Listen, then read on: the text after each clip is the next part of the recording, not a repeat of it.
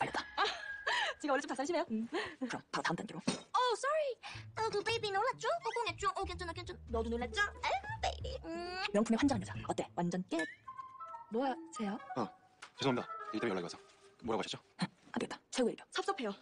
예? 속상해. 이런 식으로 저한테 관심 없으시면요. 사만다 and 레이첼 굉장히 섭섭해요. 사만다랑 레이첼이요? 네.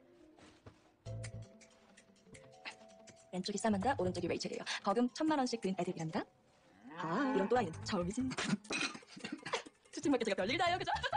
아, 아니요. 위선 떨면서 거짓말하는 것보단 시원시원해서 좋네요, 신영사 씨. 뭐야? 네? 왜 저렇게 긍정적이야? 안 되겠다. 이쯤에서 핵폭탄을 날리는 수밖에. 진짜요? 진짜로 제가 마음에 드세요? 우! 그럼 우리 룸 잡을까요?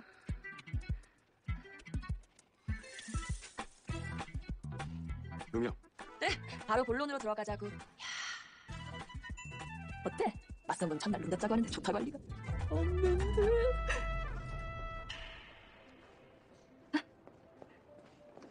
가시죠. 네. 네.